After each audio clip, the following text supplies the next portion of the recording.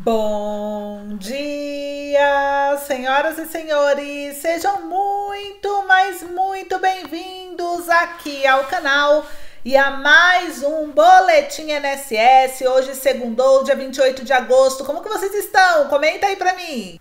Pois é, gente, eu espero que tenha sido muito bom e essa semana já começa muito boa para vocês aposentados e pensionistas, tanto que eu já começo aqui falando do 14º salário de 2.640. Também vamos falar dos pagamentos liberados essa semana, a Semana da Grana. Tem muita novidade. Ao todo serão cinco notícias dentro desse boletim informativo para você, aposentado e pensionista, ficar muito bem informado dos seus direitos. Então se preparem aí, porque tem muitas novidades. Eu separei aqui para vocês vários conteúdos importantes e eu vou trazer todos os detalhes aqui agora para vocês. Antes de eu começar com a primeira notícia, eu quero rapidamente convidar você que ainda não é inscrito no canal a se inscrever. O Alô INSS é um dos maiores e principais canais de previdência social do país e o nosso objetivo é trazer informação, orientação, explicação previdenciária e também sobre outros direitos que vocês podem ter acesso e talvez ainda não conheçam. Por isso que eu sempre falo que informação é poder, informação é dinheiro quando se trata de benefícios do governo. Então clica aí no botão de se inscrever, gente. Vai acompanhando o nosso boletim informativo porque tem muita novidade chegando para você e eu vou trazer todas elas aqui agora. Cinco notícias pronta para a gente iniciar essa segunda-feira com muita informação bacana para todos os aposentados e pensionistas do Brasil. Então vai clicando aí no like, já clique em se inscrever. O Alô INSS é um dos maiores canais do mundo no ramo de previdência. Nós estamos todos os dias aqui atualizando vocês das principais notícias sobre os direitos dos aposentados. E é só notícia boa hoje, hein? Para começar bem a semana com boas energias, tudo bem? Vamos lá então para o que interessa? Também siga a nossa página no Facebook, o Alô INSS está nas principais redes sociais, pronto para levar informação onde você estiver. E lá no Face a gente tem um grupo de apoio para tirar dúvidas entre os inscritos. Então clica lá, participa, participa do grupo, é de graça, tá gente? Não paga nada para poder fazer parte dessa equipe, desse grupo. E hoje a nossa financeira abre normalmente. Você é aposentado, pensionista, beneficiário do INSS que precisa de empréstimo consignado, pode contar com a Alô INSS, gente. O link do WhatsApp para a nossa financeira está aqui na descrição do vídeo, no primeiro comentário. É só você clicar aí no chamar, que a nossa equipe começa o atendimento às 9 horas. Então, de segunda a sexta, das 9 às 18, nós temos uma equipe exclusiva do canal destinada a digitar as propostas de empréstimo consignado de quem tem interesse em contratar. Lembrando que o Alô INSS não cobra nada por esse serviço, é gratuito, tá bom? Então a gente vai aí te ajudar, é a nossa equipe quem vai recolher seus documentos, digitar a proposta, te encaminhar o link do contrato antes de você assinar para você ler, vai acompanhar todo o andamento no banco, vai acompanhar a verbação na INSS, vai acompanhar o dinheiro cair na sua conta. A gente acompanha até o valor cair na sua conta. Então é uma assessoria mesmo, te assessora do início ao fim gratuitamente. Então você não paga nada, pode chamar, pode confiar. Nós já ajudamos mais de 30 mil aposentados, pessoal, a conseguir crédito na mão. Então a gente pode te ajudar também. Tudo com segurança para que você não caia em golpe, para que você não tenha venda casada no seu contrato, para ninguém te enganar. Infelizmente, muita gente acaba sendo vítima de golpe ou acaba tendo venda casada no contrato por falta de conhecimento, porque os gerentes, os bancos, enfim, ganham comissão, né? E por causa do pagamento dessa comissão bancária, gente, muita gente mal intencionada entra no ramo para poder ganhar dinheiro em cima às custas do aposentado, né? Enganando ele, não trabalham com a verdade. Então tem que tomar muito cuidado, porque às vezes a simpatia do atendente tá te tirando um dinheiro enorme se você não prestar atenção, né? Então por isso que o INSS faz toda a intermediação bancária gratuita para poder te proteger desse tipo de pessoas maliciosas. Então, se você tem interesse, é só chamar, porque é de graça e a gente vai te dar todo o suporte, principalmente quem nunca contratou empréstimo antes, né? Muita gente não contratou empréstimo E essas pessoas que nunca contratou empréstimo são as mais fáceis de cair em golpe, de cair em enganação. Então, chama a nossa equipe. Pensou em, pensou em empréstimo consignado? Pensou no Alô INSS? A gente vai te ajudar, a gente vai intermediar o seu contrato junto ao banco e sem cobrar nada por isso. Então você não tem nada a perder, pelo contrário, você só tem a ganhar. Então pode chamar o INSS que a gente vai te ajudar, tá bom? O link tá aí na descrição do vídeo no primeiro comentário. Quem não achar, tá aí na tela aparecendo para você nos chamar. Lembrando que esse número não atende ligação, ele é um número exclusivo de WhatsApp, tá bom, gente? Então, a gente só atende pelo WhatsApp, não ligamos para ninguém e não atendemos ligação, até mesmo para que tudo fique registrado do que a gente conversa. Ficou claro? Então tá aí informação de utilidade pública para vocês. E a charada do dia de hoje foi enviado pelo Milton Clemente. Milton, tudo bem com você, meu querido? Obrigada pelo envio da charada. Milton Clemente é inscrito aqui do canal INSS. Ele tá sempre ligado aqui no canal, sempre trazendo, né, a contribuindo com o canal. E ele trouxe a charada hoje para ver se vocês vão acertar. Será que vocês acertam? Vamos ver, o Milton sabe a importância da charada, porque a charada não é só entretenimento, charada é qualidade de vida. Já foi provado cientificamente que esse tipo de exercício ajuda a estimular a mente, prevenindo mal de Alzheimer, mal de doenças mentais. Então participe por você, gente, pela sua saúde. Faça como Milton, né? Deixe sua charada também para ajudar outros aposentados e pensionistas a também manter a mente saudável. Você pode ajudar e muito deixando sua charada, porque quem sabe amanhã ela é a selecionada. O que é o que é? Ninguém nunca reclamou. Eu não tenho, todos dois e você só tem um. O que, que é isso? O que é o que é, ninguém nunca reclamou. Eu não tenho. Todos dois. E você só tem um. Você sabe o que é isso? Vão deixando aí nos comentários. Vão deixando aí nos comentários. E eu vou trazer para você o que é o que é que ninguém nunca reclamou. Eu não tenho. Todos têm dois e você só tem um. Vão responder aí, já já trago a resposta. Enquanto isso, eu já começo o nosso boletim falando de um projeto para o aposentado. A Comissão de Previdência e Assistência Social, Infância, Adolescência e Família na Câmara dos Deputados aprovou o projeto de lei 1468 de 2023. Ele institui o adicional de aposentadoria para segurados do regime geral de previdência social, a ser custeado pelo orçamento da União e incorporado ao benefício. A relatora, a deputada Clarissa Tércio, do PP, recomendou a aprovação do texto que altera a lei de benefícios da previdência social. Ela apresentou uma emenda para determinar que o montante total acumulado pelos segurados não poderá ultrapassar o teto do regime geral de Previdência Social, que hoje é equivalente a R$ 7.507,49. E abre aspas, essa mudança vai ao encontro das necessidades das famílias dos beneficiários da Previdência Social, notadamente daqueles que contribuíram por toda a vida laboral sobre valores acima do piso de um salário mínimo. Fecha aspas, observou a relatora.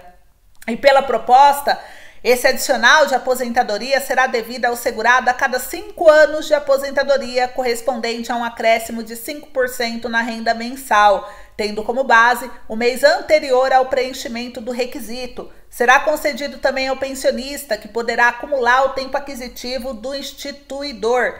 Abre aspas, a Constituição assegura o reajuste das aposentadorias para preservar-lhes de maneira permanente o valor real mas, infelizmente, ao longo dos últimos anos, essa determinação não tem sido obedecida, afirmou o deputado Pompeu de Matos, que é o autor da proposta. Parabéns ao deputado Pompeu de Matos. Ele é o mesmo deputado, autor do projeto de lei do 14º salário ele defende a criação desse quinquênio para os aposentados e, como vocês viram, ele foi um projeto que apresentou esse ano, já foi aprovado por essa comissão, já foi para a comissão de finanças e tributação para ver se tem dinheiro para pagar, depois ele vai para a CCJ e aí ele avança para o Senado, gente. Então o negócio está caminhando, o negócio está acontecendo.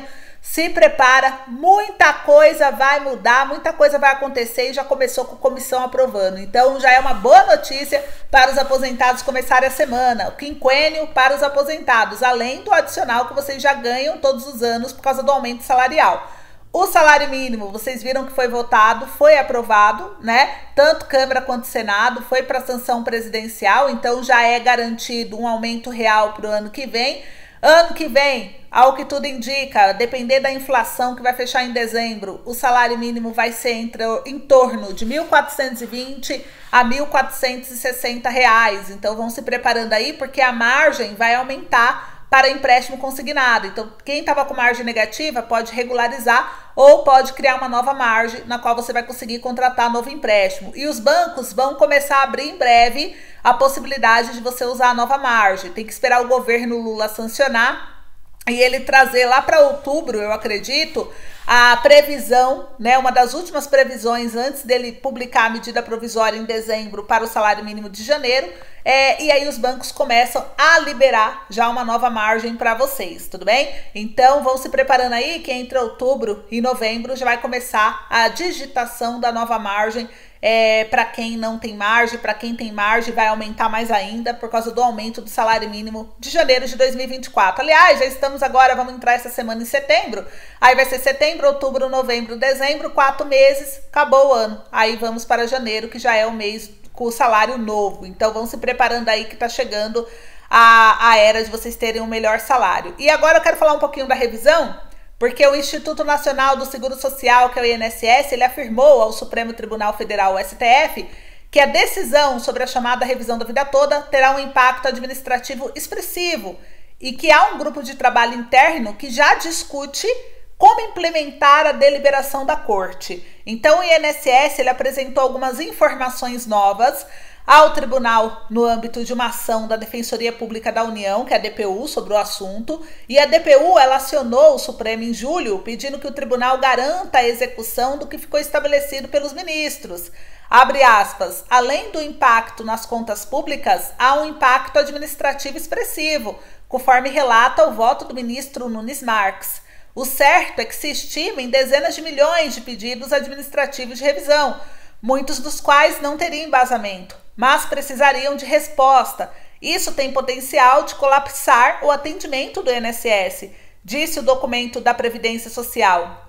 E o pedido de vista do ministro Cristiano Zanin interrompeu o julgamento da revisão da vida toda. Até uma definição desse recurso, processos que tratam do tema em instâncias inferiores foram suspensos por ordem do Moraes.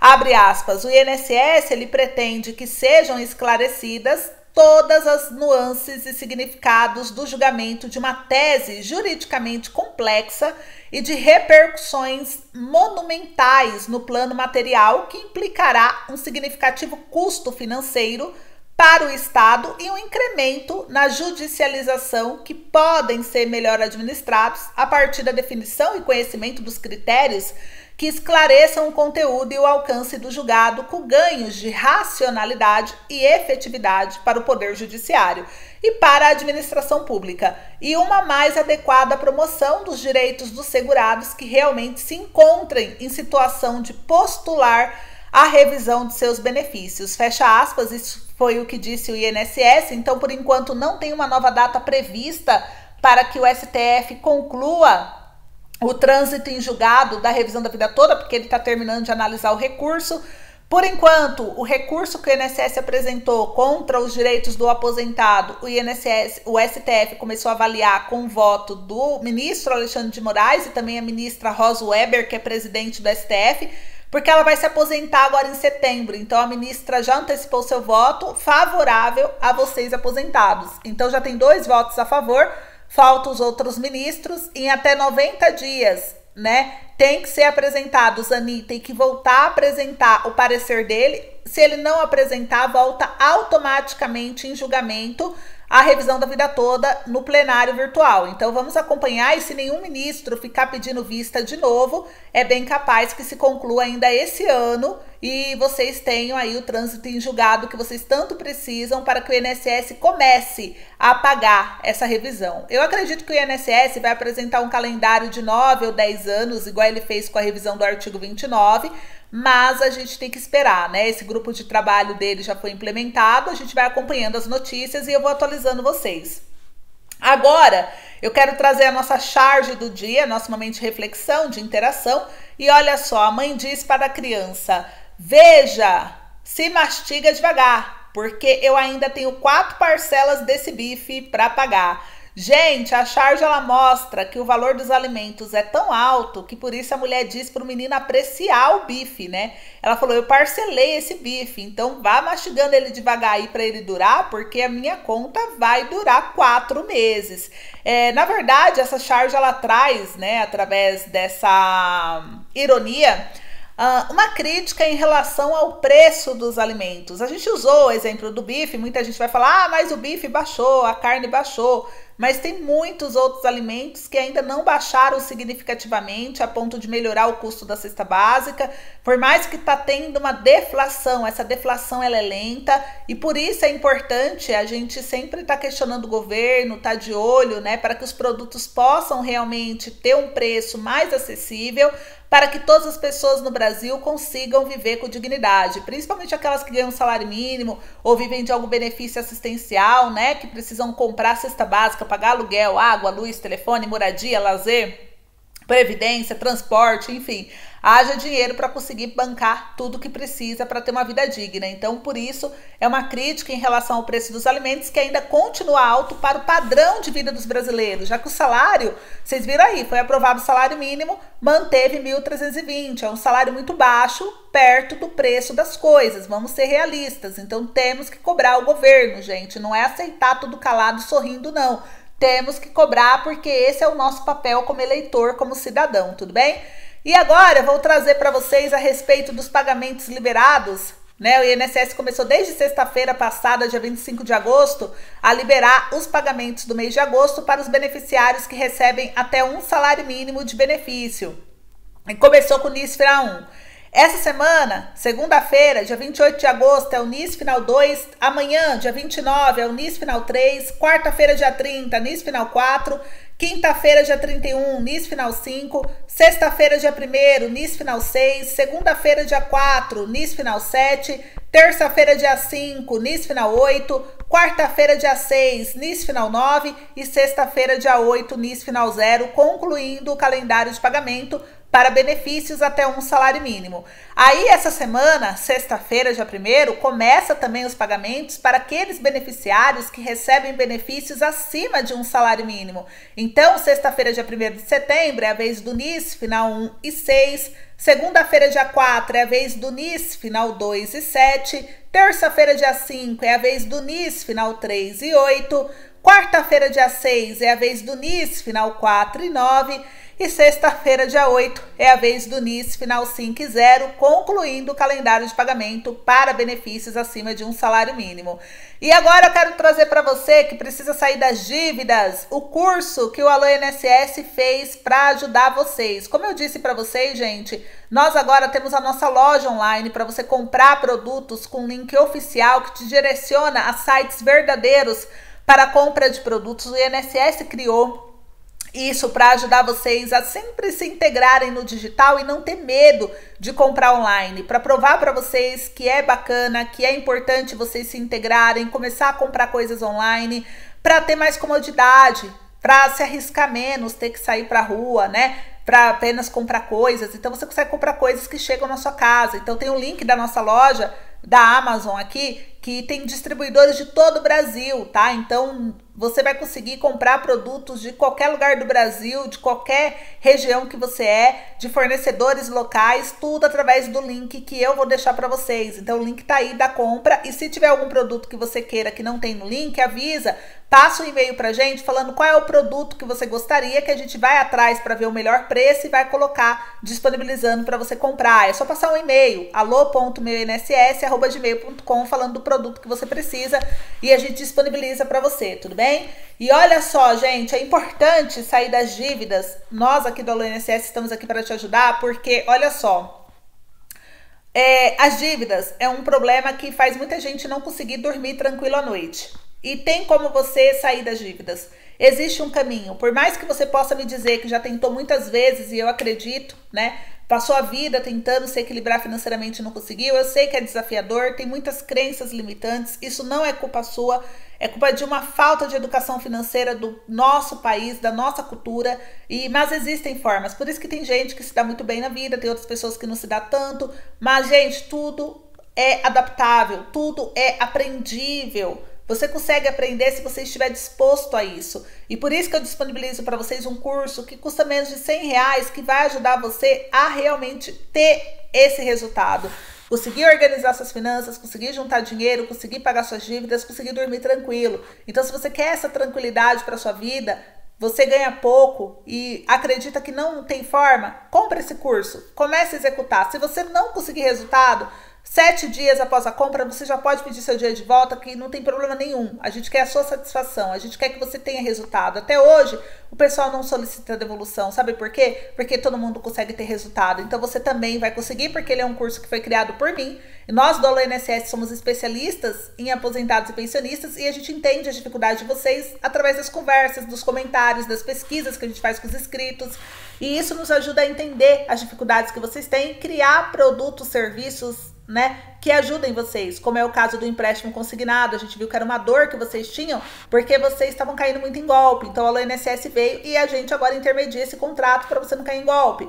Ah, muita gente caiu em fraude porque clicou em site falso, link falso para comprar um produto em promoção. Então a gente criou o link que te direciona a sites somente verdadeiros para você comprar com segurança. Então, tudo isso a gente vai criando alternativas para ajudar. Então, a gente criou esse curso também. Por quê? Porque muita gente está endividada, não consegue sair das dívidas. Então, é um curso específico para aposentado e pensionista e que ganha salário baixo.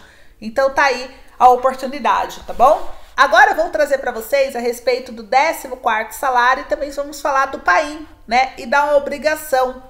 O senador Paulo Paim ele disse o seguinte: que é a obrigação de todos nós proteger os nossos idosos. E eu concordo com essa fala, porque o Brasil tem hoje, de acordo com o Instituto Brasileiro de Geografia e Estatística, que é o IBGE, 33 milhões de pessoas idosas. E o número de idosos maiores de 60 anos deve chegar a 25,5% da população brasileira, isso até 2060. Abre aspas. A população está envelhecendo, ninguém tem dúvidas, e nada mais justo do que garantir direitos e políticas públicas humanitárias, fecha aspas, afirmou o senador Paulo Paim em audiência realizada recentemente no Senado. Então, gente, esse é um assunto muito importante. A melhor política para os idosos é garantir a melhoria de suas vidas e repito aqui: isso é decisão política de governo. Os movimentos sociais e sindicais poderiam fazer campanhas nesse, senti nesse sentido. Leis não podem ser peças decorativas, elas têm que ser executadas. E a longevidade, ela pode ser definida como a capacidade de você viver por um período mais longo. Porém, é importante destacar que não se trata apenas de viver mais, mas de viver melhor. Nas últimas décadas, foi possível ver um aumento da expectativa de vida, o que resultou em um número maior de idosos ao redor do mundo. E por isso, gente, cabe ao governo, cabe à sociedade, né, cabe a todos, é uma questão de política pública, a preparar o mundo para essas pessoas que estão envelhecendo de forma saudável, para elas respeitar a, a capacidade cognitiva, né? O estilo de vida, tem que ver em conta herança genética, características individuais de cada um, mas cabe ao governo e à sociedade, né, trazer políticas públicas voltadas a isso. E a gente luta muito por isso. O projeto Longevidade, inclusive, ele busca promover maior qualidade de vida às gerações em processo do envelhecimento, por meio da promoção de ações preparatórias e preventivas ao longo de todo o ciclo de vida, sob perspectiva do conceito do envelhecimento ativo, além do fortalecimento das articulações políticas setoriais. Então, o governo tem que ser amigo do idoso. Então, por isso, a gente busca políticas públicas para a velhice e o que se esperar do governo em relação a isso, observando a longevidade humana e envelhecimento de uma forma assertiva. Então, as políticas públicas voltadas para o idoso, ela traz a ideia de compartilhamento de responsabilidade como envolvimento da família, da sociedade, da comunidade do Estado. E nesse caso, observando sempre o incentivo a participação do setor privado, público, representado principalmente pela família. Então a gente vai lutar, sim, junto com vocês, para que vocês possam ter mais qualidade de vida e viver bem nesse país. Pode contar com a INSS porque nós estamos aqui para cobrar e para fazer as políticas públicas voltadas ao idoso funcionar, gente. Então vamos lutar para que esses idosos sejam inclusos no mercado de trabalho, possam ter mais acesso à saúde, à segurança, ao lazer, né? Então a gente luta junto com vocês. E por isso, um dos assuntos que a gente já começa e que pode ocorrer esse ano é o 14 quarto salário.